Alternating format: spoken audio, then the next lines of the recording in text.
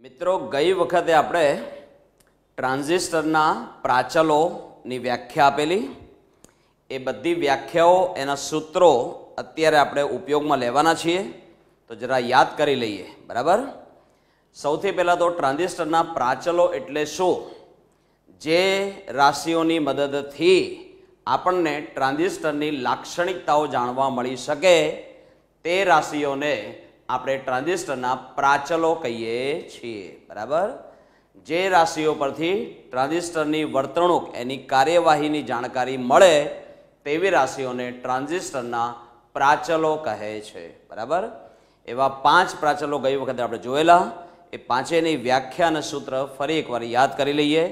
પહેલો પ્રાચલ હતો આપેલા ટ્રાન્ઝિસ્ટરનો ઇનપુટ અવરોધ. એની સંજ્ઞા હતી આર આઈ એનું સૂત્ર હતું delta VBE upon delta IB ક્યારે? જ્યારે વીસીઈ અચળ હોય ત્યારે.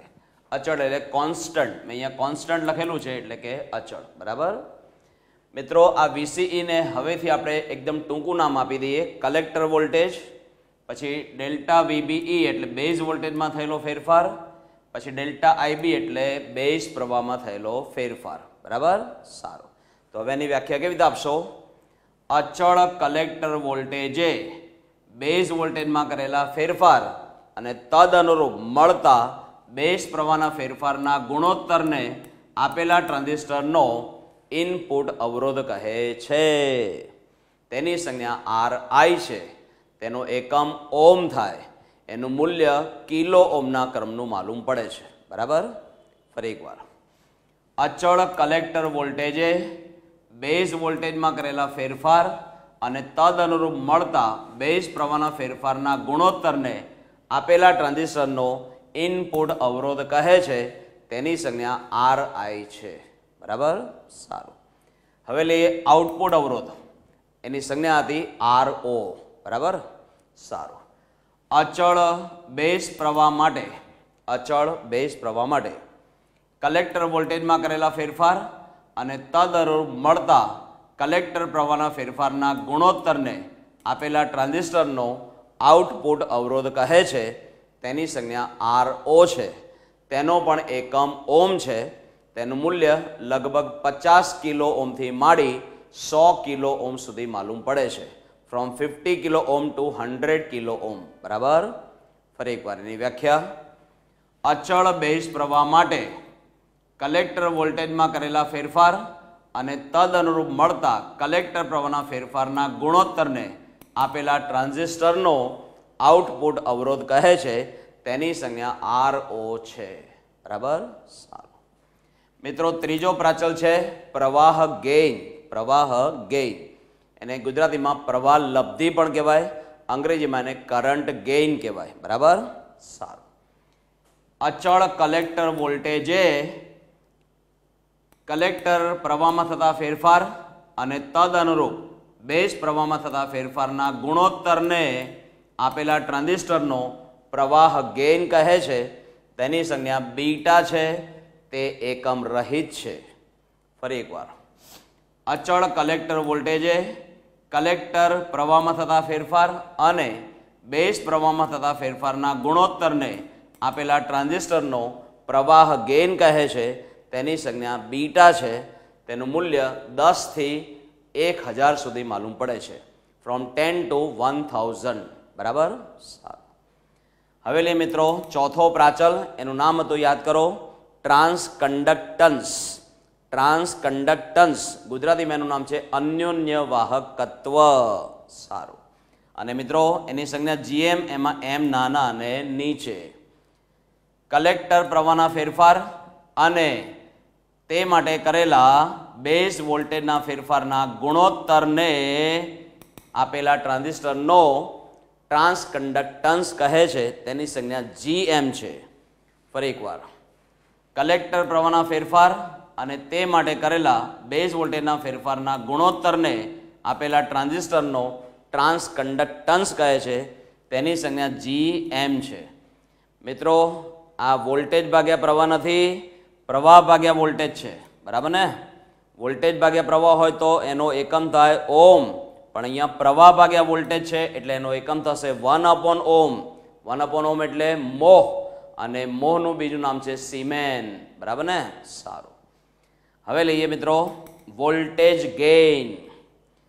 કલેક્ટર વોલ્ટેજમાં થતા ફેરફાર અને અનુરૂપ બેઝ વોલ્ટેજમાં થતા ફેરફાર ના ગુણોત્તરને આપેલા ટ્રાન્ઝિસ્ટરનો વોલ્ટેજ ગેઇન કહે છે. ફરી એકવાર. કલેક્ટર વોલ્ટેજમાં થતા ફેરફાર અને તદ અનુરૂપ બેઝ વોલ્ટેજમાં થતા ફેરફારના ગુણોત્તરને આપેલા ટ્રાન્ઝિસ્ટરનો વોલ્ટેજ ગેઇન કહે છે. તે એકમ રહિત છે. એકમ રહિત. બરાબર? કોઈ પણ પ્રકારનો ગેઇન હોય, પ્રવાહ ગેઇન હોય, વોલ્ટેજ ગેઇન હોય, પાવર ગેઇન હોય, બધા એકમ રહિત. બરાબર? સારું. હવે મિત્રો આ પાઠમાં થિયરીમાં આગળ વધીએ. એક શબ્દનો હવેથી અવારનવાર ઉપયોગ થવાનો છે. એ શબ્દનો પરિચય ચોપડીમાં આપ્યો નથી. એમણે એનો ઉપયોગ સીધે સીધો કરેલો છે. એ શબ્દ છે સિગ્નલ. સિગ્નલ એટલે શું? મિત્રો, એકદમ સિમ્પલ વાત છે. કોઈ પણ ભૌતિક રાશિ જે સમયની સાથે બદલાતી હોય, તે તમામ રાશિઓને સિગ્નલ કહેવાય છે.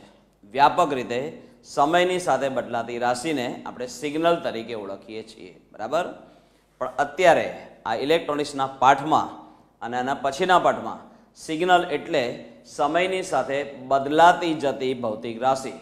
સમયની સાથે બદલાતી જતી ભૌતિક રાશિ પણ એ કઈ વિદ્યુતીય રાશિ. એ આપણે કહી લઈશું વિદ્યુતીય રાશિ. તો દાખલા તરીકે વોલ્ટેજ હોય, પ્રવાહ હોય, એ રાશિઓ એવી છે કે જે સમયની સાથે બદલાતી હોય તો અત્યારે આપણે એને સિગ્નલ તરીકે લેવાના છીએ. બરાબર? તો એને કહીશું વિદ્યુતીય સિગ્નલ શું કહીશું? વિદ્યુતીય સિગ્નલ બરાબર? સમયની સાથે બદલાતી રાશિ એટલે સિગ્નલ પણ જો એ રાશિ વિદ્યુતીય રાશિ હોય, દાખલા તરીકે પ્રવાહ કે વોલ્ટેજ તો એને કહીશું વિદ્યુતીય સિગ્નલ બરાબર ને? સારું. હવે, વ્યવહારમાં જે કોઈ સિગ્નલ્સ નબળા હોય, જેનો કંપ વિસ્તાર ઓછો હોય, જેનું મૂલ્ય ઓછું હોય એવા નબળા સિગ્નલ્સને વિવર્ધિત કરવાની જરૂર પડે છે. એને પ્રબળ બનાવવાની જરૂર પડે છે. બરાબર? એટલે એનું વિવર્ધન કરવાની જરૂર પડે છે. જેમ કે, માઇક્રોફોનના આઉટપુટમાં આપણને જે ઓડિયો સિગ્નલ મળે છે, એ સિગ્નલ ઘણું નબળું છે. કેવું છે? નબળું. બરાબર? સારું. અને મિત્રો, રેડિયો અને ટીવીના જે સિગ્નલો છે, જે એન્ટેના સુધી આપણા ઘર સુધી આવે છે, એ બધા સિગ્નલો પણ ઘણા નબળા છે. એ નબળા સિગ્નલોનું વિવર્ધન કરીને એને પ્રબળ બનાવવાની જરૂર પડે છે. તો એના માટે જે પરિપથ આપણે બનાવ્યો છે, એનું નામ છે વિવર્ધક. ગુજરાતીમાં એને વિવર્ધક કહેવાય, અંગ્રેજીમાં એને એમ્પ્લીફાયર કહેવાય. શું કહેવાય? એમ્પ્લીફાયર. બજારમાં વિવિધ પ્રકારના એમ્પ્લીફાયર મળે છે, જે અવાજનું વિવર્ધન કરી શકે ને ઓડિયો એમ્પ્લીફાયર કહેવાય, જે અવાજની સાથે સાથે દ્રશ્યમાં પણ જેને કહેવાય વિવર્ધન કરી શકે, એને વીડિયો એમ્પ્લીફાયર કહેવાય. જેની મદદથી પાવરનું વિવર્ધન થાય એને પાવર એમ્પ્લીફાયર કહેવાય. બરાબર છે? ટૂંકમાં એમ્પ્લીફાયર શું કરશે? બેઝિકલી નબળા સિગ્નલને પ્રબળ બનાવશે. બરાબર? તો એવો એક પરિપથ અત્યારે આપણે પણ આપણા કોર્સમાં ભણવાનો છે. એનપીએન ટ્રાન્ઝિસ્ટરનો ઉપયોગ કરી બનાવેલો કોમન એમિટર એમ્પ્લીફાયર કઈ રીતે કાર્ય કરે છે, કઈ રીતે વિવર્ધન કરે છે, એ હવે આપણે સમજીએ. બરાબર? જો અહીંયા ટાઇટલ જોઈ લો. એનપીએન ટ્રાન્ઝિસ્ટરનો ઉપયોગ કરી બનાવેલું કોમન એમિટર એમ્પ્લીફાયર સારું. હમણાં મિત્રો મેં જે વાત કરી કે એમ્પ્લીફાયર નબળા સિગ્નલને પ્રબળ બનાવે છે, એ કાર્યવાહી એકદમ ટૂંકમાં બ્લોક ડાયાગ્રામ વડે આ રીતે રજૂ કરી શકાય. માનો કે તમારી પાસે સમયની સાથે બદલાતું જતું એક નાનકડું સિગ્નલ છે ઇલેક્ટ્રિકલ સિગ્નલ વિદ્યુતીય સિગ્નલ એ પ્રવાહ પણ હોઈ શકે વોલ્ટેજ પણ હોઈ શકે. બરાબર? હવે આ નાના સિગ્નલને આપણે વિવર્ધિત કરવું છે, તો એના માટેનું એમ્પ્લીફાયર આ બોક્સમાં રાખ્યું હોય, તો એના આઉટપુટમાં આપણને આના કરતાં ઘણું મોટું, વધારે પ્રબળ એવું સિગ્નલ મળે છે. એને કહેવાય વિવર્ધિત થયેલું સિગ્નલ. બરાબર? એનપીએન ટ્રાન્ઝિસ્ટરનો ઉપયોગ કરી બનાવેલું કોમન એમીટર એમ્પ્લીફાયર. મિત્રો, એનો સમગ્ર પરિપથ કંઈક આવો છે. દરેકે દરેક ઘટકને જરા ધ્યાનથી સમજીએ આપણે. સૌથી પહેલાં એનપીએન ટ્રાન્ઝિસ્ટર જોઈ લેજો. બરાબર? Ammeter, base, collector. એનપીએન આ રીતે લખો કે પછી આ રીતે લખો. કોઈ ફરક પડવાનો નથી. NPN NPN. બરાબર? સારું. એનપીએન ટ્રાન્ઝિસ્ટરના કિસ્સામાં યાદ છે ને મિત્રો? સંજ્ઞાની અંદર એમીટર ઉપર તીર ક્યાં બતાવવાનું? બહારની તરફ. ચલો બહારની તરફ બતાવી દો. બરાબર? સારું. પછી એમીટર બેઝ જંક્શનને કેવો કરવાનો મિત્રો? ફોરવર્ડ બાયસ તો જોઈ લેજો મિત્રો, એમીટર અત્યારે એન પ્રકારનો અર્ધવાક છે. N with negative N with negative બરાબર ને? સારું. અચ્છા, તો અહીંયા એમીટર જંક્શનને આપણે ફોરવર્ડ બાયસ કર્યું. અને પછી જો નીચેનો ટર્મિનલ નેગેટિવ હોય તો ઉપરનો ટર્મિનલ પોઝિટિવ એટલે આ જે બેટરી છે, જેને બેઝ સાથે જોડેલી છે, એ બેટરીના વિદ્યુત ચલાપણી સંઘને આપણે લખીશું ચોપડી પ્રમાણે વીબીબી બરાબર? તો આ વિદ્યુત ચાલક બળ વડે આપણે એમીટર જંકશનને ફોરવર્ડ બાયસ આપી રહ્યા છીએ. સારું. હવે જે સિગ્નલને વિવર્ધિત કરવું છે, એ નાનકડું એસી સિગ્નલ જેમાંથી આપણને મળે છે, એવું ઉદ્ગમ અહીંયા જોડવામાં આવે છે. એમાંથી મળતું સિગ્નલ ઉલટ સુલટ પ્રકારનું છે. માટે અહીંયા એસી ઉદ્ગમની નિશાની બતાવેલી છે. એમાંથી આપણે નાનકડા એસી સિગ્નલો મળે છે, જેનું આપણે વિવર્ધન કરવાનું છે. બરાબર? અને એમાંથી જે વોલ્ટેજ મળે ને મિત્રો, એની સંજ્ઞા આપવાની છે વી એસ એટલે કે સિગ્નલ વોલ્ટેજ સિગ્નલ વોલ્ટેજ બરાબર? સારું. ભલે અહીંયા માત્ર વી એસ કિંમત લખી હોય, પણ સમજવાનું છે આરએમએસ મૂલ્ય. આ બદલાતા જતા સિગ્નલનું આરએમએસ મૂલ્ય એ છે સિગ્નલ વોલ્ટેજ વી એસ બરાબર? સારું. હવે કલેક્ટર જંક્શનને કેવું કરવાનું છે મિત્રો? રિવર્સ બાયસ કલેક્ટર અત્યારે તમે જોઈ શકો છો એન પ્રકારનો અર્ધવાગ છે. એને રિવર્સ બાયસ કરવા માટે N with positive N with positive જોઈ લેજો એન વિથ પોઝિટિવ બરાબર? તો આ જે બેટરી છે એના ઉપરનું ટર્મિનલ પોઝિટિવ બતાવજો અને આ બેટરીના વિદ્યુત ચાલકબળની સંજ્ઞા કે જેને કલેક્ટર સાથે જોડેલી છે, એની સંજ્ઞા આપજો વીસીસી બરાબર? તો આ રીતે વીસીસી જેટલા વિદ્યુત ચાલક બળ વડે આપણે કલેક્ટર જંકશનને રિવર્સ બાયસ આપી રહ્યા છીએ. આ રિવર્સ વોલ્ટેજનું મૂલ્ય આ ફોરવર્ડ વોલ્ટેજ કરતાં વધારે છે. એટલે અહીંયા એક બેટરી બતાવજો, અહીંયા બે બેટરી બતાવજો. ઓકે સારું. પછી મિત્રો, આપણને જે વિવર્ધિત થયેલું એસી સિગ્નલ મળે છે, એ સિગ્નલ આ અવરોધના બે છેડા વચ્ચે આપણને મળે છે. બરાબર? તો એ વિવર્ધિત થયેલો એસી સિગ્નલનો ઉપયોગ આપણે જે સાધનમાં કરવાનો હોય, એ સાધન અહીંયા આપણે જોડીએ છીએ. તો જે સાધન અહીંયા જોડશો, બરાબર? એના બે છેડા વચ્ચે તમને વિવર્ધિત થયેલું મોટું એસી સિગ્નલ વાપરવા મળશે. તો મિત્રો, એ સાધને પણ કંઈક વિદ્યુતીય અવરોધ તો છે જ. તો જે સાધન એ જોડેલું છે, એનો જે વિદ્યુતીય અવરોધ છે, એનું નામ છે લોડ અવરોધ. લોડ અવરોધ. લોડ રેઝિસ્ટન્સ, એની સંજ્ઞા આપવાની છે આર એલ બરાબર? સારું. હવે મિત્રો, આ ટર્મિનલને ગ્રાઉન્ડ કરેલો બતાવજો. બરાબર? આ ગ્રાઉન્ડ કરેલો ટર્મિનલ તમને એવું કહેવા માંગે છે કે આ બધા છેડાઓના વિદ્યુત સ્થિતિમાન શૂન્ય છે. આ એક, બે, ત્રણ. એટલે આ બધા છેડાઓના વિદ્યુત સ્થિતિમાન શૂન્ય છે. તો વિદ્યુતીય પરિપથમાં જે ટર્મિનલનું વિદ્યુત સ્થિતિમાન શૂન્ય હોય, એને ગ્રાઉન્ડ કર્યો કહેવાય. અને આની સાપેક્ષે અન્ય છેડાઓ આગળ વિદ્યુત સ્થિતિમાન માપવામાં આવે છે. તો જે છેડાનું વિદ્યુતમાન શૂન્ય ગણવામાં આવે, એ ટર્મિનલને ગ્રાઉન્ડ કર્યો કહેવાય. બરાબર? તો કેટલીક વાર આને ગ્રાઉન્ડેડ એમિટર પણ કહી શકાય. ગ્રાઉન્ડેડ એમિટર અથવા કોમન એમિટર. કેમ એવું નામ આપ્યું? Common emitter? કારણ કે આ પરિપથનો ઇનપુટ વિભાગ છે અને આ પરિપથનો આઉટપુટ વિભાગ છે. બોલો ઇનપુટ આઉટપુટ ઇનપુટ આઉટપુટ તો પછી એમાં એમીટર કેવો દેખાય છે? કોમન માટે નામ આપ્યું કોમન એમીટર કોમન એમીટર બરાબર? જ્યાં એસી સિગ્નલ લાગુ પાડવામાં આવે, એ ઇનપુટ વિભાગ કહેવાય.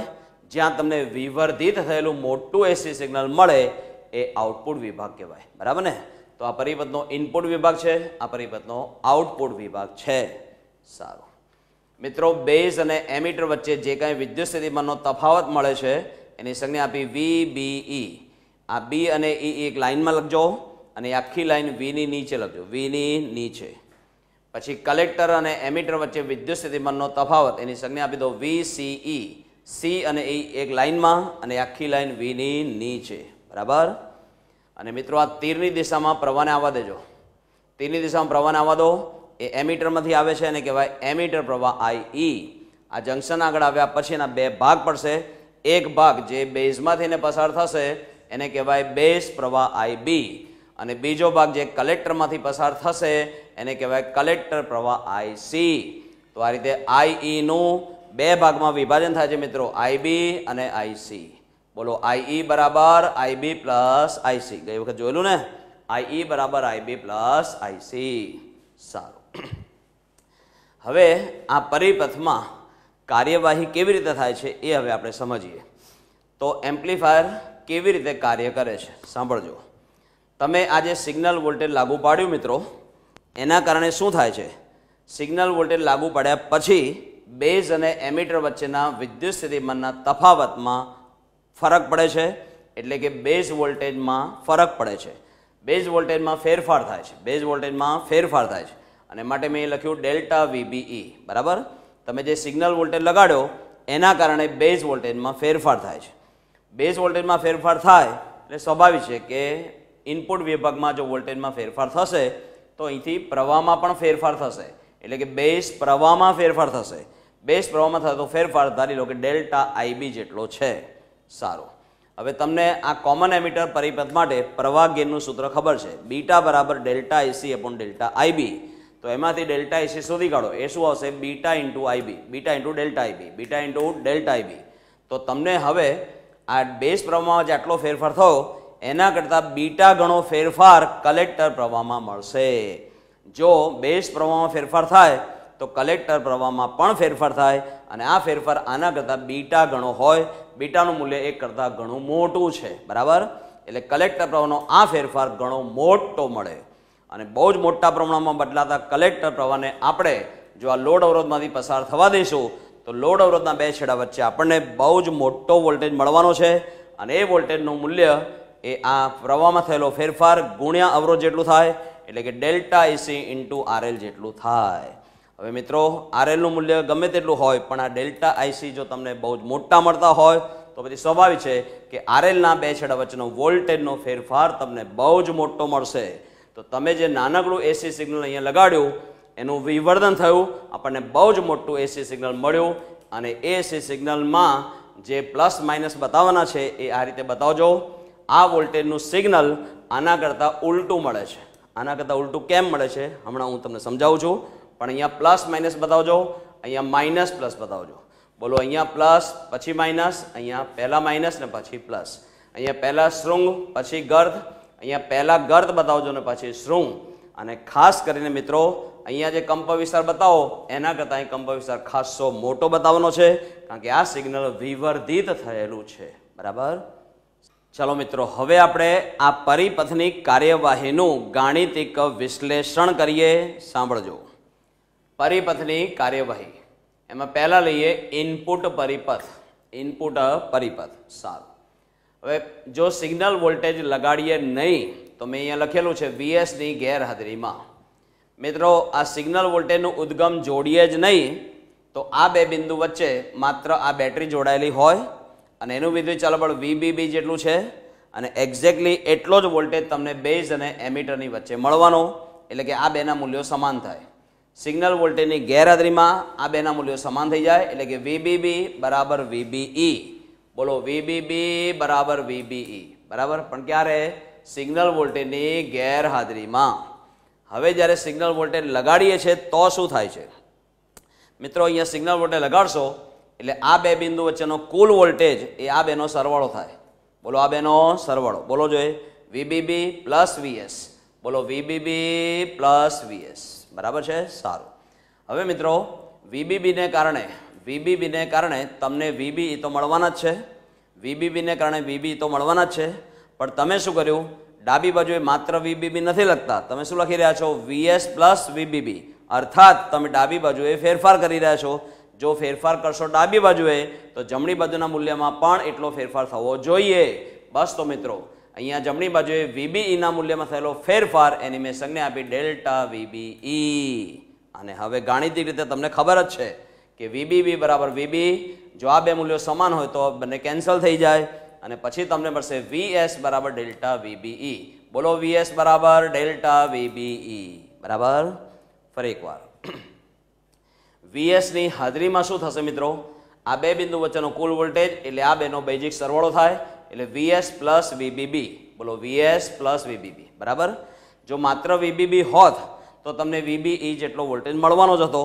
પણ તમે અહીંયા ડાબી બાજુએ માત્ર વીબીબી નથી લખતા. શું લખી રહ્યા છો? વીએસ પ્લસ વીબીબી એટલે જો ડાબી બાજુએ ફેરફાર કરશો, તો જમણી બાજુએ આ જે મૂલ્ય લખ્યું છે, એમાં પણ ફેરફાર થશે. એમાં થયેલો ફેરફાર મેં લીધો ડેલ્ટા વીબીઈ બરાબર? પરંતુ ગાણિતિક રીતે આ બે મૂલ્યો સમાન જ છે, એટલે આ બંને કેન્સલ થઈ જાય. તો તમને શું મળ્યું? વીએસ બરાબર ડેલ્ટા વીબીઈ બોલો વીએસ બરાબર ડેલ્ટા વીબીઈ અને મિત્રો યાદ કરો, આપણે ઇનપુટ અવરોધ ભણ્યા હમણાં જ, બરાબર? પ્રાચલ. ટ્રાન્ઝિસ્ટરનો પ્રાચલ આ છે ઇનપુટ અવરોધ. આરઆઈ બરાબર delta VBE upon delta IB આમાંથી ડેલ્ટા વીબી ની કિંમત લાવો જોઈએ અને ઉપર લઈ લો. તો આરઆઈ ઇન્ટુ ડેલ્ટા આઈબી બોલો આરઆઈ ઇન્ટુ ડેલ્ટા આઈબી બરાબર? તો વીએસના આ બંને સૂત્રો યાદ રાખજો, દાખલામાં કામમાં આવશે. બોલો, વીએસ બરાબર ડેલ્ટા વીબીઈ અને સાથે સાથે આરઆઈ ઇન્ટુ ડેલ્ટા આઈબી. બરાબર ને? સારું. હવે લઈએ પરિપથનો આઉટપુટ વિભાગ. જોજો મિત્રો, આ આઉટપુટ વિભાગમાં જે લૂપ લેવાની છે લૂપ આ છે. લૂપ એટલે બંધ ગાળો. એ બંધ ગાળો આ લેજો. બરાબર? હવે આ જે બંધ ગાળો છે, એમાં કિર્ચોફનો બીજો નિયમ લગાવો. કિર્ચોફના બીજા નિયમ અનુસાર એકદમ ટૂંકમાં કહું તો લગાડેલો કુલ વોલ્ટેજ બરાબર મળેલા વોલ્ટેજોનો સરવાળો. લગાડેલો કુલ વોલ્ટેજ બરાબર મળતા વોલ્ટેજોનો સરવાળો. તો લગાડેલો કુલ વોલ્ટેજ મિત્રો, કલેક્ટર સપ્લાય વોલ્ટેજ કેટલો છે? વીસીસી કલેક્ટર સપ્લાય વોલ્ટેજ કેટલો છે? વીસીસી અને એમાંથી તમને એક વોલ્ટેજ આ મળશે મિત્રો. જ્યારે પ્રવાહ આમથી આવે છે, તો આ છે એમીટરમાંથી આવતો પ્રવાહ આઈ અહીંયા આવે પછી બે ભાગ પડેલા. બોલો આઈબી અને આઈસી તો આઈસી જેટલો પ્રવાહ વહી રહ્યો છે આમ. અને આઈસી જેટલો પ્રવાહ જો લોડ અવરોધ આરએલમાંથી પસાર થાય, તો એના બે છેડા વચ્ચે વિદ્યુત સ્થિતિમાનનો તફાવત કેટલો મળે? IC into RL IC into RL બરાબર? એટલે એક ભાગનો વોલ્ટેજ તમને લોડ અવરોધના બે છેડા વચ્ચે મળશે અને બાકીનો વોલ્ટેજ અહીંયા કલેક્ટર અને એમિટરની વચ્ચે મળશે. તો બાકીનો વોલ્ટેજ અહીંયા કલેક્ટર અને એમીટરની વચ્ચે મળ્યો, એની સંજ્ઞા આપી વીસીઈ સંજ્ઞા શું આપી? વીસીઈ બરાબર? બોલો વીસીસી બરાબર? IC into RL plus VCE બોલો વીસીસી બરાબર IC into RL plus VCE લગાડેલો કુલ વોલ્ટેજ, બરાબર મળતા વોલ્ટેજોનો સરવાળો. સારું. હવે બંને બાજુ મિત્રો ડેલ્ટા લઈ લો. દરેક પદમાં ફેરફાર ધ્યાનમાં લઈ રહ્યા છીએ. આમાં ડેલ્ટા લેશો તો ડેલ્ટા વીસીસી અહીંયા ડેલ્ટા લઈ લો, ડેલ્ટા આઈસી ઇન્ટુ આરએલ અહીંયા ડેલ્ટા લઈ લો તો ડેલ્ટા વીસીઈ બરાબર ને? સારું. મિત્રો, આ વીસીસી શું છે? આ કલેક્ટર સપ્લાય વોલ્ટેજ છે અથવા આ બેટરીનું વિદ્યુત ચાલક છે. બોલો, બેટરીનું વિદ્યુત ચાલક બળ કોઈ પણ બેટરીનું વિદ્યુત ચાલક બળ કેવું હોય? આપેલી બેટરી માટે અચળ હોય. એટલે જો વીસીસીનું મૂલ્ય જો અચળ હોય, તો અચળ મૂલ્યમાં થયેલો ફેરફાર કેવો થાય? શૂન્ય. અચળ મૂલ્યમાં થયેલો ફેરફાર શૂન્ય. એટલે આની કિંમત જસ્ટ લખી નાખો ઝીરો ચાલો ઝીરો લખ્યા મિત્રો. વીસીસી અચળ છે. એટલે વીસીસીના મૂલ્યમાં થયેલો ફેરફાર ડેલ્ટા વીસીસી કેવા લેશો? ઝીરો ચલો, આની જગ્યાએ ઝીરો લખી નાખો. આની જગ્યાએ ઝીરો બરાબર? જમણી બાજુ યથાવત છે મિત્રો, delta IC into RL plus delta VCE delta IC into RL plus delta VCE અને હવે ડેલ્ટા વીસીઈના સૂત્રનો કરતા બનાવો, આને આમ લઈ લો. પ્લસમાંથી માઇનસ. બરાબર ને? મિત્રો, આ કલેક્ટર વોલ્ટેજમાં થયેલો ફેરફાર, એનું આપણે નવું નામ આપીએ છીએ આઉટપુટ વોલ્ટેજ. કલેક્ટર વોલ્ટેજમાં થયેલા ફેરફારને જ પરિપથના આઉટપુટ વોલ્ટેજ તરીકે લેવામાં આવે છે. બસ તો મિત્રો, આની જગ્યાએ લખી નાખો, આઉટપુટ વોલ્ટેજની સંજ્ઞા વી ઓ, બરાબર? ઓ નાના અને નીચે. વી ઝીરો નથી બોલવાનું, વી ઓ બોલવાનું છે. વી ઓ, આઉટપુટ વોલ્ટેજ, બરાબર? જમણી બાજુ યથાવત. અને હવે મિત્રો, વોલ્ટેજ ગેઇન કોને કહેવાય? Voltage gain. તો એ છે આઉટપુટ વોલ્ટેજ ભાગ્યા ઇનપુટ વોલ્ટેજ. બોલો, આઉટપુટ વોલ્ટેજ ભાગ્યા ઇનપુટ વોલ્ટેજ. ઇનપુટ વોલ્ટેજ માટે લેજો વીએસ કારણ કે બેઝ વોલ્ટેજનો ફેરફાર, એને આપણે કહીશું ઇનપુટ વોલ્ટેજ. બોલો, બેઝ વોલ્ટેજનો ફેરફાર, એને આપણે કહીશું ઇનપુટ વોલ્ટેજ. કલેક્ટર વોલ્ટેજનો ફેરફાર હોય તો એને કહેવાય આઉટપુટ વોલ્ટેજ અને બેઝ વોલ્ટેજનો ફેરફાર હોય તો એને કહેવાય ઇનપુટ વોલ્ટેજ. તો આઉટપુટ વોલ્ટેજ વીઓ છે, ઇનપુટ વોલ્ટેજની સંજ્ઞા અત્યારે વીએસ લીધેલી છે. આઉટપુટ વોલ્ટેજ ભાગ્યા ઇનપુટ વોલ્ટેજ, એને કહેવાય વોલ્ટેજ ગેઇન. એની સંજ્ઞા એ વી એમાં વી નાના અને નીચે. સારું. વીઓની કિંમત લખાવો. Minus delta IC into RL minus delta IC into RL અને વીએસની કિંમત અહીંયાથી લખાવજો. વીએસની કિંમત બોલજો જરા. ડેલ્ટા આઈબી ઇન્ટુ આરઆઈ બોલો ડેલ્ટા આઈબી ઇન્ટુ આરઆઈ ચાલે? સારું. હવે મિત્રો એવી યથાવત. પછી આ માઇનસ અને પછી આ માઇનસ યથાવત રાખ્યા છે. Delta IC upon delta IB બોલો કલેક્ટર પ્રવાહના ફેરફાર અને બેઝ પ્રવાહના ફેરફારના ગુણોત્તરને શું કહેવાય? આપેલા ટ્રાન્ઝિસ્ટરનો પ્રવાહ ગેઇન બીટા કહેવાય. તો ડેલ્ટા અપોન ડેલ્ટા બીને બદલે બીટા લખી નાખો અહીંયા. ડેલ્ટા અપોન ડેલ્ટા બીને બદલે beta into RL upon RI RL upon RI બરાબર ને? એવી બરાબર minus beta into RL upon RI AV બરાબર minus beta into RL upon RI હવે મિત્રો એવી યથાવત અને આ માઇનસ યથાવત મિત્રો, યાદ કરો, ગઈ વખતે ટ્રાન્સ કંડક્ટન્સનું એક નાનકડું સૂત્ર આપણે લાવેલા જીએમ બરાબર બીટા અપોન આરઆઈ બોલો જીએમ બરાબર બીટા અપોન આરઆઈ તો જ્યાં બીટા અપોન આરઆઈ હોય, ત્યાં જીએમ લખી શકાય. તો લખો અહીંયા બીટા અપોન આરઆઈ છે જ. એની જગ્યાએ જીએમ લખો જોઈએ. અને આરએલ યથાવત, આ માઇનસ યથાવત, બરાબર ને? એવી બરાબર માઇનસ જીએમ ઇન્ટુ આરએલ એવી બરાબર માઇનસ જીએમ ઇન્ટુ આરએલ બરાબર? મિત્રો વોલ્ટેજ ગેનની કિંમત આપણને ઋણ મળે છે. વોલ્ટેજ ગેનની કિંમત ઋણ મળવી, એનો અર્થ એવો થાય કે output voltage signal input voltage signal કરતાં ઉલટું હોય. કેવું હોય? ઉલટું. એટલે અહીંયા પહેલાં શૃંગ હોય, તો અહીંયા પહેલાં ગર્થ હશે. અહીંયા પછીથી ગર્થ આવે છે, તો અહીંયા પછીથી શૃંગ આવશે. ટૂંકમાં આ વોલ્ટેજ સિગ્નલ આના કરતાં ઉલટી સ્થિતિમાં મળે. અર્થાત, આ ઇનપુટ અને આઉટપુટ વોલ્ટેજ સિગ્નલો વચ્ચે કળાનો તફાવત એકસો એંસી ડિગ્રીનો કહેવાય. મિત્રો, શૃંગ અને ગર્ત વચ્ચે કળાનો તફાવત એકસો એંસી ડિગ્રી છે. એટલો જ કળાનો તફાવત અહીંયા છે. બરાબર? એકસો એંસી ડિગ્રી એટલે પાય રેડિયન. બરાબર ને? ટૂંકમાં મિત્રો, વોલ્ટેજ ગેન ઋણ મળે છે એનો અર્થ એવો થાય, output voltage signal input voltage signal કરતાં ઉલટી સ્થિતિમાં મળે. બરાબર ને? સારું. હવે મિત્રો, આ ઋણ નિશાની શું બતાવે છે એ વાત થઈ ગઈ. હવે પાવર ગેઇનનું સૂત્ર લાવીએ. પાવર ગેઇન એની સંજ્ઞા આપજો એપી એમાં પી નાના અને નીચે. વ્યાખ્યા બહુ સિમ્પલ છે મિત્રો. આઉટપુટ પાવર અને ઇનપુટ પાવરના ગુણોત્તરને. આઉટપુટ પાવર અને ઇનપુટ પાવરના ગુણોત્તરને પાવર ગેઇન કહે છે. પાવર ગેઇન કહે છે. એની સંજ્ઞા એપી બરાબર? ચલો મિત્રો એપી યથાવત છે. આઉટપુટ પાવર પાવર એટલે વિદ્યુતીય પાવર એટલે વોલ્ટેજ ગુણ્યા પ્રવાહ. વિદ્યુતીય પાવર એટલે વોલ્ટેજ ગુણ્યા પ્રવાહ. તો અહીંયા મિત્રો આઉટપુટ પાવર આ કિસ્સામાં લેજો. કલેક્ટર વોલ્ટેજમાં થતા ફેરફાર, ગુણ્યા કલેક્ટર પ્રવાહમાં થતો ફેરફાર. બોલો, કલેક્ટર વોલ્ટેજમાં થતો ફેરફાર એટલે ડેલ્ટા વીસીઈ અને કલેક્ટર પ્રવાહમાં થતો ફેરફાર એટલે ડેલ્ટા આઈસી. વોલ્ટેજ ગુણ્યા પ્રવાહ તમને શું આપશે? પાવર. આ બંને રાશિઓ આઉટપુટમાં છે, માટે આને કહેવાય આઉટપુટ પાવર. એવી રીતે ઇનપુટ પાવર એટલે બીજું કાંઈ નહીં, બેઝ વોલ્ટેજમાં થતો ફેરફાર ગુણ્યા બેઝ પ્રવાહમાં થતો ફેરફાર. ડેલ્ટા વીબીઈ ગુણ્યા ડેલ્ટા આઈબી. બરાબર ને? સારું. હવે મિત્રો બોલો, આ delta VCE upon delta VBE delta VCE upon delta VBE એને શું કહેવાય? Delta VCE upon delta VB આને શું કહેવાય? ગુણોત્તરને શું કહેવાય? વોલ્ટેજ ગેઇન એવી બસ તો મિત્રો, ડેલ્ટા વીસી અપોન ડેલ્ટા વીબીને બદલે લખી નાખો એવી અને delta IC upon delta IB delta IC upon delta IB collector પ્રવાહનો ફેરફાર ભાગ્યા બેઝ પ્રવાહનો ફેરફાર. એવા ગુણોત્તરને કહેવાય પ્રવાહ ગેઇન. એ પ્રવાહ ગેઇનની સંજ્ઞા આ રીતે પણ લખવામાં આવે છે એ આઈ જેમ એ વોલ્ટેજ ગેન માટે એવી એમ પ્રવાહ ગેન માટે એ આઈ લખવામાં આવે છે. અને આ એવી યથાવત છે મિત્રો? એ આઈ એ પ્રવાહ ગેન છે. પ્રવાહ ગેનની સંજ્ઞા અત્યાર સુધી આપણે લખીએ છીએ બીટા. બસ તો એ આઈને બદલે લખી નાખો બીટા. બરાબર? સારું. હવે મિત્રો, આ એપી યથાવત છે. એવીનું સૂત્ર બોલો. એવીનું સૂત્ર આ લાવ્યા છો ને તમે? Minus beta into RL upon RI minus beta into RL upon RI અને ઇન્ટુ બીટા તો છે છે ને? છે જ. બસ તો મિત્રો માઇનસ યથાવત beta into beta beta square into RL upon RI RL upon RI બરાબર? મિત્રો પાવર ગેનું સૂત્ર તો આવ્યું, પણ હવે ધારો કે બંને બાજુ માનાંક લઈએ, તો અહીંયા માનાંક લઈ લો, એટલે મોડ ઓફ એપી એના બરાબર, બોલો માનાંક લેશો એટલે માઇનસમાંથી પ્લસ થઈ જાય, એટલે beta square RL upon RI બોલો beta square RL upon RI બરાબર ને?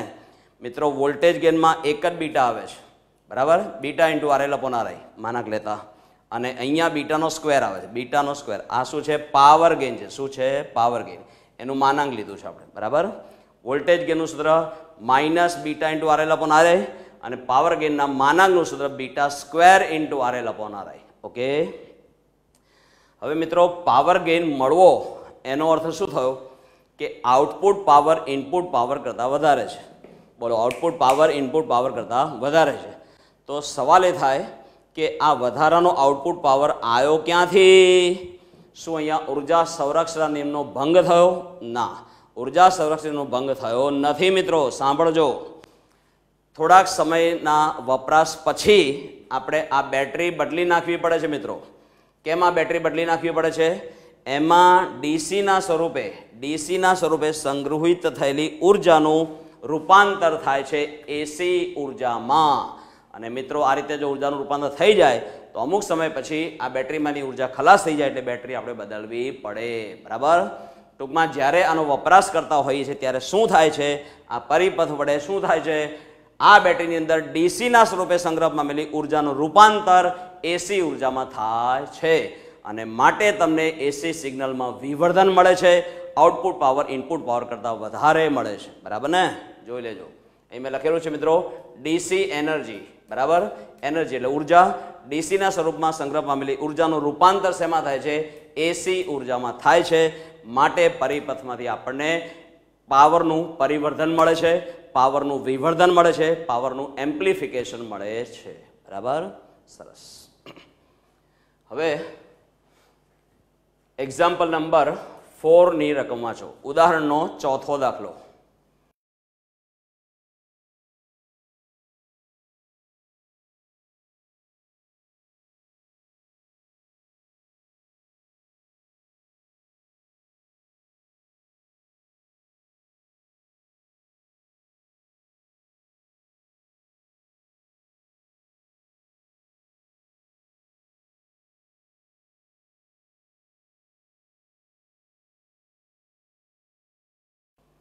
વાંચી રકમ?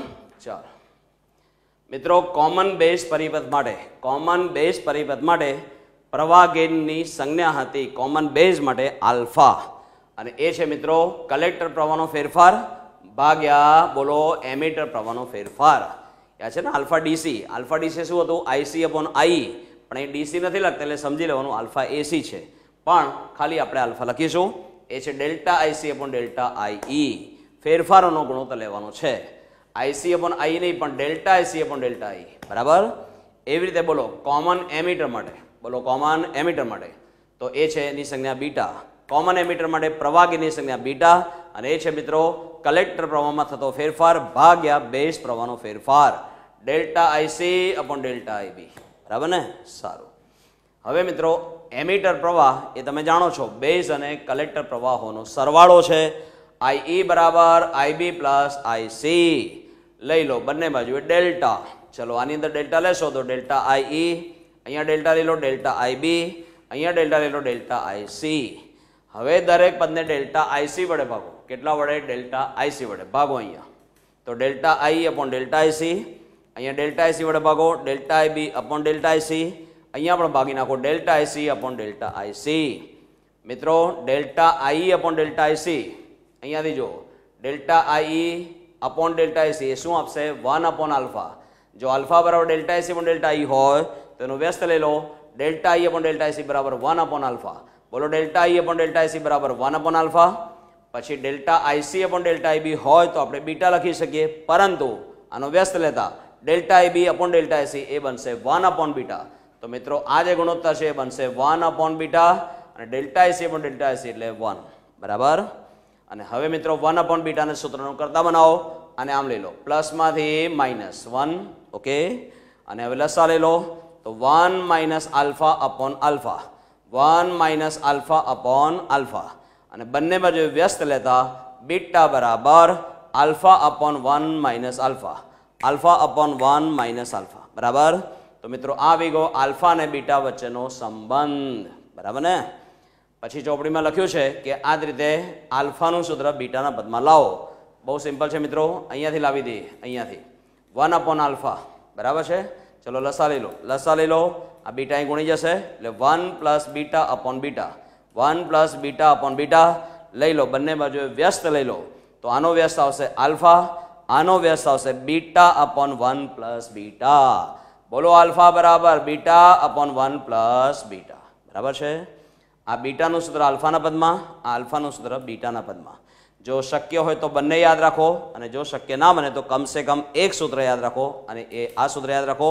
બીટા બરાબર alpha upon one minus alpha. બરાબર છે? દાખલામાં આ સૂત્ર આપણે કામે લગાડવાના છીએ, ઓકે? ઉદાહરણના પાંચમા દાખલાની રકમ ધ્યાનથી વાંચો.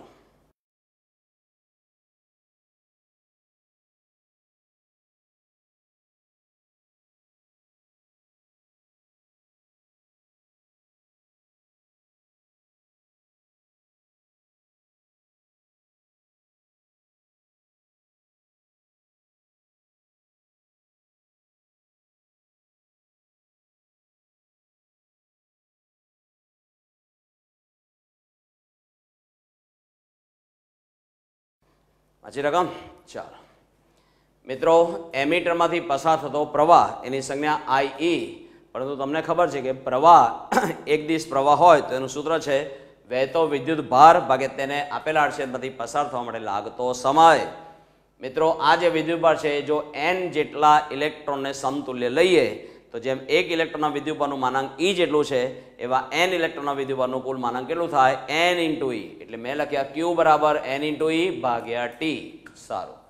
હવે એમીટરમાંથી જે ઇલેક્ટ્રોન બેઝમાં જાય છે, જે એમીટર પ્રવાહ રચે છે, એવા ઇલેક્ટ્રોનની સંખ્યા એમણે આપી ટેન રેસ ટુ ટેન. અને એક ઇલેક્ટ્રોનના વિદ્યુતભારનું માનાંક બધાને યાદ છે, one point six into ten raise minus nineteen coulomb પરંતુ મિત્રો, આટલો વિદ્યુતભારને પસાર થવા માટેનો સમય એમણે આપેલો છે એક માઇક્રો સેકન્ડ સમય માઇક્રો સેકન્ડમાં લેવાનો નથી એસઆઈ એકમમાં એટલે કે સેકન્ડમાં લેવાનો છે. માઇક્રો સેકન્ડમાંથી સેકન્ડમાં જાઓ, ten raise to minus six વડે ગુણો. આમાંથી જવાબ આવશે મિત્રો, one point six into ten raise to minus three આટલા એમ્પિયર. અને તમને ખબર છે કે ten raise to minus three ampere એટલે એક મિલી એમ્પિયર એટલે આની જગ્યાએ મિલી એમ્પિયર લખશો તો one point six milli ampere બરાબર? સારું. હવે મિત્રો, એમિટરમાંથી જે ઇલેક્ટ્રોન્સ બેઝમાં જાય છે, એમાંના માત્ર બે ટકા ઇલેક્ટ્રોન્સ હોલ સાથે સંયોજાય છે. બરાબર ને? તો જેટલા ટકા ઇલેક્ટ્રોન હોલ સાથે સંયોજાય એક્ઝેક્ટલી એટલા ટકા ઇલેક્ટ્રોન શું કરે? બેઝ પ્રવાહનું નિર્માણ કરે. કયો પ્રવાહ? બેઝ પ્રવાહ. એની સંજ્ઞા આઈ બી તો રચાતો બેઝ પ્રવાહ અત્યારે કુલ પ્રવાહ એટલે કે એમિટર પ્રવાહના માત્ર બે ટકા જેટલો જ મળે છે. સારું. બોલો આઈબી યથાવત. અને આ શું છે મિત્રો? આઈઈના બે ટકા. આઈ ના બે ટકા. બે ટકા કેવી રીતે કાઢવાના? ગુણ્યા બે ભાગ્યા સો. ગુણ્યા બે ભાગ્યા સો. સારું. આઈ એની કિંમત લઈ આવ્યા. આઈ એની કિંમત વન પોઈન્ટ સિક્સ છે અને ગુણ્યા બે ભાગ્યા સો. મિત્રો, આ જો લેશો મિલી એમ્પિયરમાં તો આપણને શેમાં મળશે મિલિયમ્પિયરમાં એ જવાબ આવશે point zero three two point zero બત્રીસ આટલા મિલિયમ્પિયર બરાબર ને? પરંતુ આઈઈ બરાબર આઈબી પ્લસ આઈસી એમાં આઈઈની કિંમત આપણે લઈ આવીએ one point six milli ampere આઈબીની કિંમત લાવ્યા પોઈન્ટ ઝીરો બત્રીસ મિલીમ્પિયર આઈસી શોધવાના બાકી છે. અને આમ લઈ લો માઇનસ થઈ હશે one point six minus this કરો, જવાબ હશે one point five six eight આટલા મિલી એમ્પિયર પછી કોમન બેઝ પરિપથ માટે પ્રવાહ ગેઇન એમાં ડીસી લેતા હો તો આલ્ફા ડીસી એનું સૂત્ર છે IC upon IE IC upon IE આઈસીની કિંમત આવી one point five six eight ભાગ્યા આઈઈની કિંમત છે મિત્રો વન પોઈન્ટ સિક્સ બરાબર? ધીસ અપોન ધીસ એનો જવાબ હશે પોઈન્ટ નાઇન એઇટ અને મિત્રો પ્રવાગેન એકમ રહિત હોય. પછી કોમન એમીટર માટે પ્રવાગેન એટલે બીટા ડીસી બોલો બીટા ડીસી અને એનું સૂત્ર છે આઈસી અપોન આઈ બી આઈસીની કિંમત one point five six eight milliampere આઈબીની કિંમત અહીંયા લઈ આવ્યા પોઈન્ટ ઝીરો બત્રીસ મિલિયમ્પિયર દેશ અપોન દેશ, મિત્રો, એ જવાબ હશે ફોર્ટી નાઇન બરાબર? અથવા તો પછી આલ્ફાના આ મૂલ્યનો તમે અહીંયા ઉપયોગ કરશો. બરાબર? અહીંયા. તો અહીંયા કિંમત લખી નાખજો, આલ્ફાની પોઈન્ટ નાઇન એટ અહીંયા પણ પોઈન્ટ નાઇન એટ તો તમને બીટા મળી જશે ફોર્ટી નાઇન બરાબર? કોઈ પણ રીતે શોધી કાઢો, તો બીટા ડીસીની કિંમત કેટલી મળી? ફોર્ટી નાઇન એ પણ પ્રવાગેન છે, એ પણ એકમ રહિત, બરાબર ને? સારું. ઉદાહરણના છઠ્ઠા દાખલાની રકમ ધ્યાનથી વાંચો.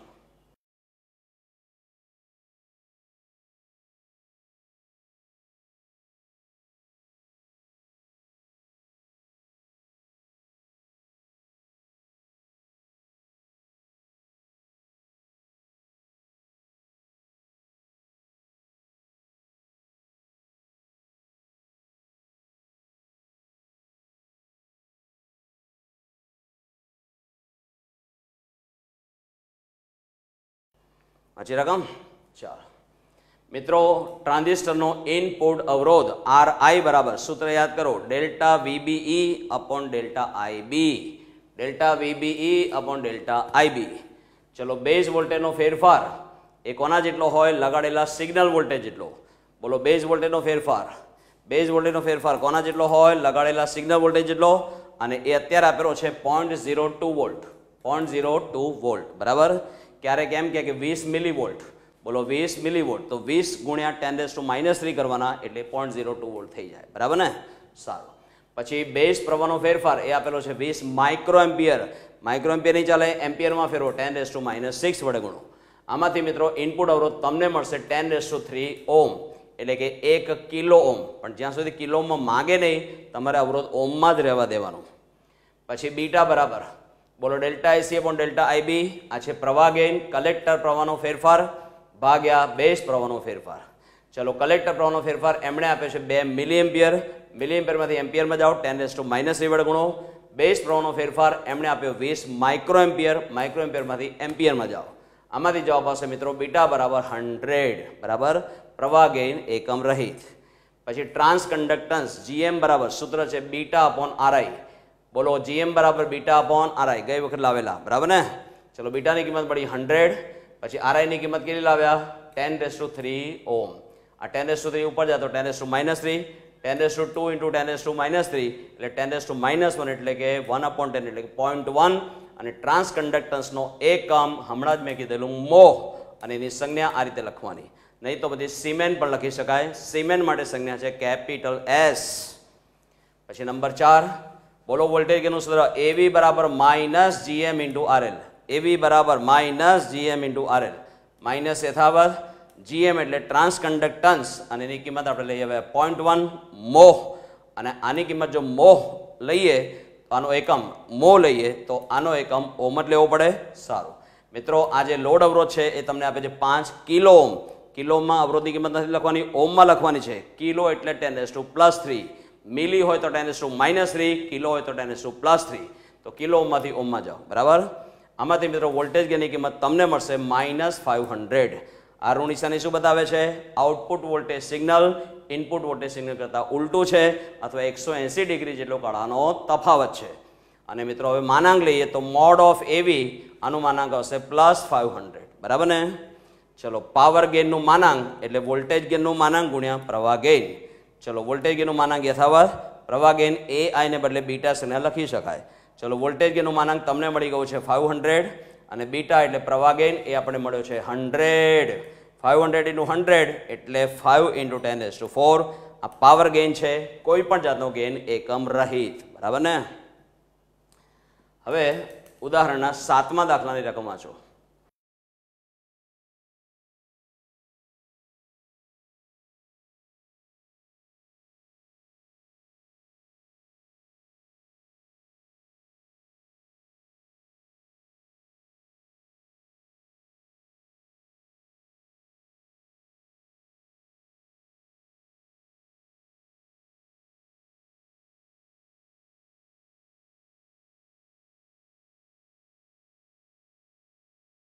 વાંચી રકમ ચાલ. મિત્રો કોમન એમિટર પરિપથ માટે પ્રવાહ ગેન બીટા બરાબર આઈસી અપોન આઈબી બોલો બીટા બરાબર આઈસી અપોન આઈબી તો આઈસીને સૂત્રો કરતા બનાવો? બીટા ઇન્ટુ આઈબી આ બીટા પ્રવાહ ગેન તમને આપે છે ત્રણસો અને આઈબી એટલે બેઝ પ્રવાહ, એ આપે છે દસ માઇક્રો એમ્પિયર એમ્પિયરમાં ફેરવો ગુણ્યા ten S to minus six બરાબર ને? આ થયા three into ten S to minus three પ્રવાહનો એકમ એમ્પિયર. આ જો મિત્રો એમ્પિયરમાં લશો તો આ પણ શેમાં મળશે? એમ્પિયરમાં પછી વીસીસી બરાબર IC into RL plus VCE. Common emitter પરિપથના output વિભાગમાં કિર્ચોફનો બીજો નિયમ લગાડીએ તો હમણાં જ આપણે સમીકરણ મેળવેલું. બોલો. એ સમીકરણ હતું વીસીસી બરાબર IC into RL plus VCE. યાદ આવ્યું ને? વીસીસી બરાબર IC into RL plus VCE. એનું એ સમીકરણ એ લખેલું છે મિત્રો. જોઈ લો. વીસીસી બરાબર IC into RL plus VCE. ચલો, આ છે collector supply voltage collector supply voltage એટલે કે કલેક્ટર સાથે જોડેલી બેટરીનું વિદ્યુત ચાલબળ. એ આપ્યું છે દસ વોલ્ટ પછી આઈસી આપણને મળી ગયા three into ten to minus three ampere load અવરો શોધવાનું બાકી છે. અને આ છે કલેક્ટર અને એમીટર વચ્ચે વિદ્યુત સ્થિતિમાનનો તફાવત. એ આપે છે ચાર વોલ્ટ એને કલેક્ટર વોલ્ટેજ પણ કહેવાય. અને મિત્રો, આમાંથી જવાબ આવે છે આરએલની કિંમત આવે છે two into ten three ohm એટલે કે બે કિલો ઓમ બે કિલો ઓમ બરાબર ને? હવે ઉદાહરણના આઠમા દાખલાની રકમ વાંચો.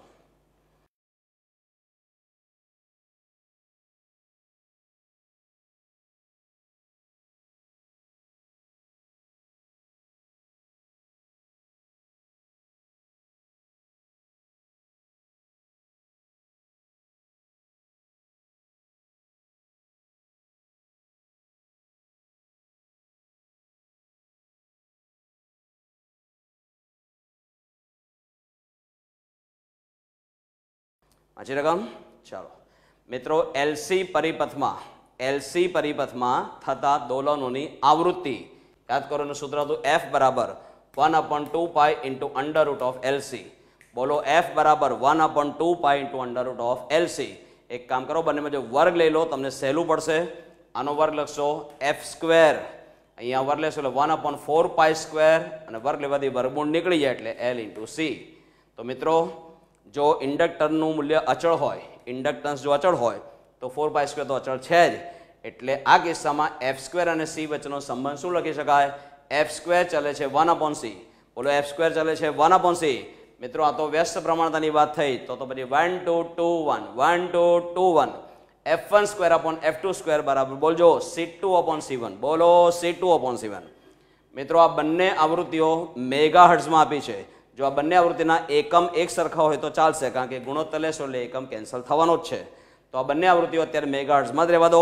પહેલે કિસ્સામાં આવૃત્તિ આપી છે તમને એક મેગા હર્ટ્ઝ બીજા કિસ્સામાં આવૃત્તિ આપી બે મેગા હર્ટ્ઝ પહેલું કેપેસિટન્સ આપેલું છે હંડ્રેડ પીકો ફેરેડ મિત્રો, આ પહેલું કેપેસિટન્સ જો પીકો ફેરેડમાં હોય, તો બીજું પણ શેમાં મળશે? પીકો ફેરેડમાં તો ચલો સી કિંમત હંડ્રેડ પીકો ફેરેડ લખી નાખો.